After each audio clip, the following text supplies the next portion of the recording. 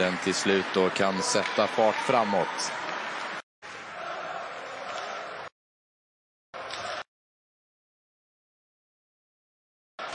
Eh, Leino får ut pucken till Leo Karlsson. Oj, skicklig han är. Vilken... Halloran eh, på volley, vidare till Leo Karlsson. Oj, skickligt. Titta, Samorski!